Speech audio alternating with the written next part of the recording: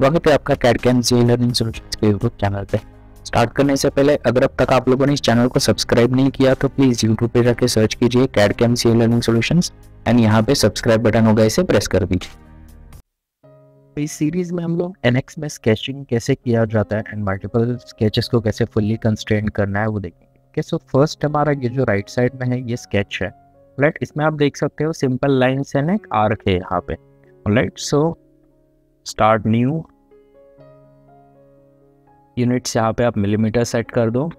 आपको अगर रीनेम करना है स्केच को सो यहाँ पे आप रीमेन रीनेम कर सकते हो sketch one and okay now sketch कोई भी आप एक प्लेन सिलेक्ट कर सकते हो एंड ओके okay. अब अगर आपको इस एनवायरनमेंट में स्केचिंग नहीं करना ओनली स्केचर एनवायरनमेंट चाहिए सो मोर में जाके आप यहाँ पे open in sketch task environment भी कर सकते हैं।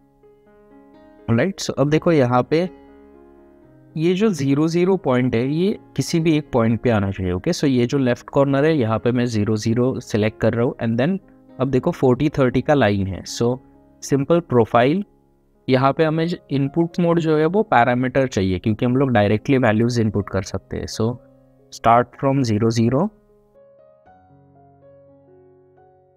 next यहाँ पे लेंथ होगा हमारा फोर्टी एंटर एंगल सेम ही रहेगा नाइन्टी सो एंटर कर दीजिए। अब देखो यहाँ पे लाइन क्रिएट हो गया। नेक्स्ट हमारा ये जो है थर्टी का लाइन है एंड एंगल ज़ीरो ही रहेगा। सो डबल एंटर करने के बाद आप मिडल बटन प्रेस कर सकते हो। ओके सो आपका जो लाइन है डबल जो आपका स्क्रोल बटन है, उसे प्रेस करोगे तो स्टॉप हो जाएगा। ओके सिमिलरली सेकेंड डायरेक्शन में 50 एंड 20 आप लाइन ड्रॉ कर सकते हो। So profile 50 double enter then 20 double enter and scroll button को प्रेस कर सकते हो ताकि ये टूल स्टॉप हो जाए।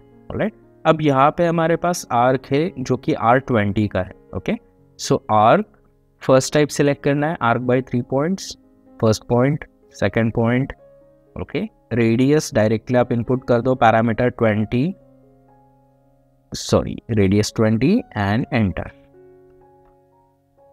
okay so ये आपका स्केच हो जाएगा यहाँ पे आप देख सकते हो जितने डायमेंशंस गिवन है, उसमें ही आपका स्केच फुल्ली कंस्टेंट हो रहा है ओके okay?